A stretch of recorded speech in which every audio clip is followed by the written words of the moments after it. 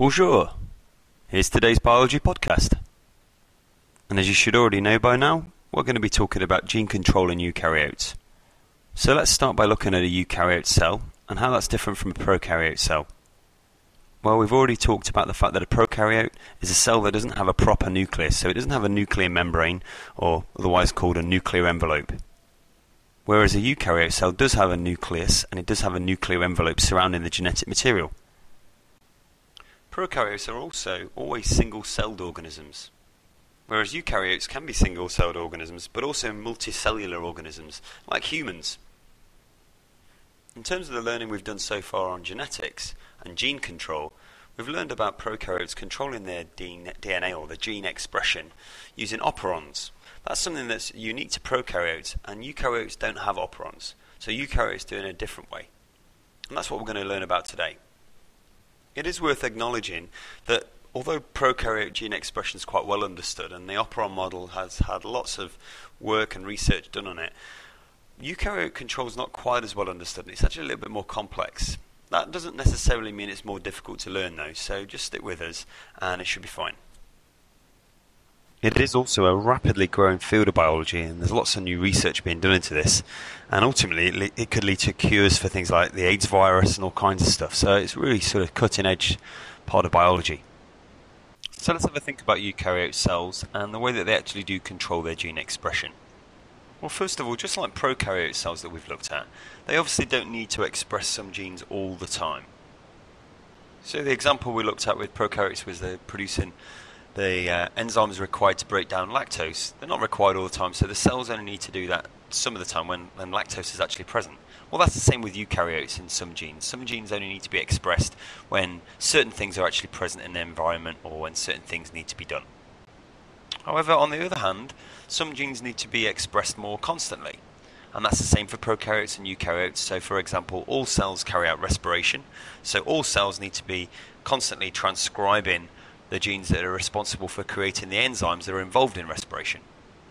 However, there's some big differences between eukaryotic organisms and prokaryotic organisms, and that causes differences in the way that they control their genes.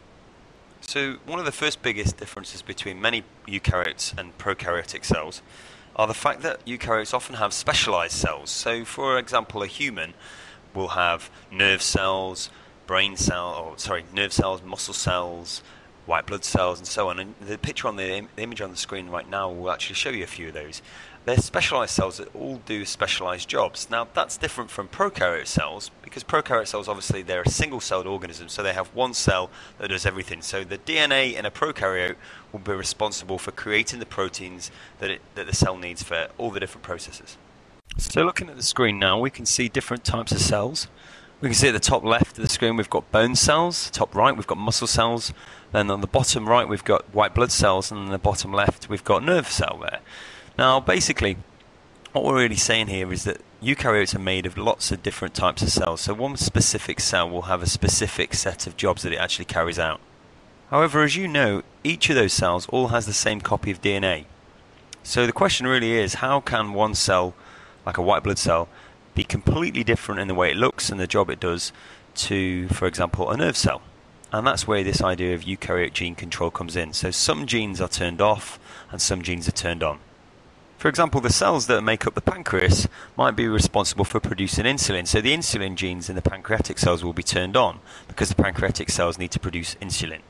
However, if you compared that with, say, the cells in the stomach lining that produce things like uh, hydrochloric acid, the genes that are involved in that process will be turned on, while the insulin genes will be turned off. And the opposite would be said for the pancreatic cells. So basically, it's the turning on and off genes that basically leads to those differences in what the cell does and also the way it looks and the way it's structured.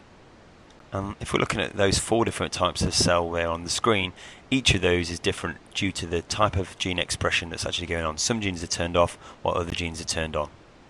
So I've already said that uh, eukaryotes don't have operons, so let's start to have a quick look at what processes are actually involved, what mechanisms are actually involved in turning a gene on and off in a eukaryote.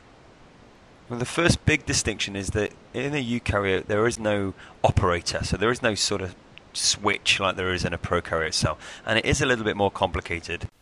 So there's actually proteins involved in controlling eukaryote gene expression, and those proteins are called transcription factors. And that's something that we've not come across before. So let's have a quick talk about what actually is a transcription factor. Well, I've already said, a transcription factor is a protein. It's believed there's about 2,600 of these transcription factors that actually exist in humans.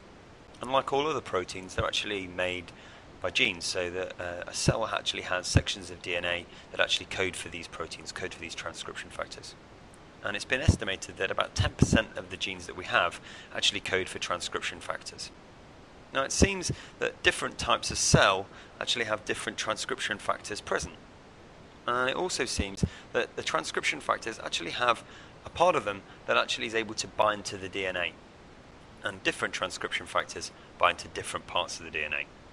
So those cells that are in the um, pancreas, for example, might have transcription factors present that actually bind to the parts of DNA around where the genes are involved in creating insulin. And they'll bind to those parts of the DNA and also bind to RNA polymerase to actually encourage that gene to be transcribed. However, at the same time in the pancreatic cell, the transcription factor is responsible for the process of creating hydrochloric acid won't be present, so that gene or those genes involved in making hydrochloric acid won't be transcribed. So let's have a bit of a more detailed look at how transcription factors are actually involved in promoting transcription of a gene. Now to do that we need to start by looking at a eukaryote gene and the different parts of the gene, just like we did with the prokaryotes. So if you just have a quick look at the image on your screen, we can start talking through that. So the band going across the middle of the screen there is the section of DNA, and there's two main parts of that DNA that we need to know about. The first one on the left is the enhancer region, and the second one on the right is what we call the promoter region, which is similar to the prokaryote gene control. So think for a second, what do you think happens at the promoter region? Well, I'm hoping you've managed to sort of figure out that it's the same as the prokaryote gene control, and the promoter region is where the RNA polymerase will attach and begin to that process of transcription. Now, the enhancer region though, is something new, so let's have a quick look at what that is. Well, basically, it's another section of DNA that's involved in speeding up or slowing down the transcription of a gene. And it's a region of DNA that can be found thousands of base pairs upstream or downstream from the actual gene that's uh, being transcribed. And as we'll see in a second, it's vital to this control of gene expression in eukaryotes. So how do transcription factors fit in here? Well, let's just talk about what would need to happen to increase the transcription of a particular gene. Well, first of all, the right transcription factors would need to be present in the cell. So let's say, say we're in a pancreatic cell, a cell in the pancreas. The transcription factors for insulin would need to be present. And because it's a pancreatic cell, it's a specialized cell that does that job, those transcription factors would be present. Now, those transcription factors that are specific to speeding up the production of insulin would bind onto the enhancer sequence, as shown in the left of the diagram. And then other transcription factors that are required for RNA polymerase to bind onto any gene start binding onto the promoter region and onto RNA polymerase itself. Now, once those things have happened, the actual DNA actually starts to change its shape. And the promoter region and the enhancer regions actually move close together until eventually they're touching. If you look at the image on your screen now, you'll see the start of that process. Now, when they're touching, we say that the DNA has formed what we call a hairpin loop. And if you imagine the enhancer and promoter regions you can see on your screen now moving close enough together so they're actually touching, you can see the hairpin loop would be the section of DNA that's been formed between those two regions. Once that's actually happened, RNA polymerase can then start transcribing the gene. But it doesn't happen before the promoter and enhancer regions actually bond together, and that doesn't happen until the transcription factors bind to both the enhancer regions and the promoter regions and RNA polymerase itself. So I'm hoping that's given you a bit of an idea of the processes involved in this and the molecules and what they do. But I think really to get a proper understanding, we'll actually have to think about an example of this actually working in action. Um, so I'm going to do a really quick podcast that's going to accompany this one. It should be on the wiki space on my YouTube account in plenty of time for you to do this. Um, and it'll just go through a particular example of this actually happening, and hopefully we'll illustrate it a little bit easier for you. But remember, Anything you don't understand from this video, please make a note of it and write a question on the wiki space so that your classmates can help you out and I can find out which bits you don't know so I know what to do in class. So once again guys, thanks again for listening. Keep it real and I'll speak to you soon.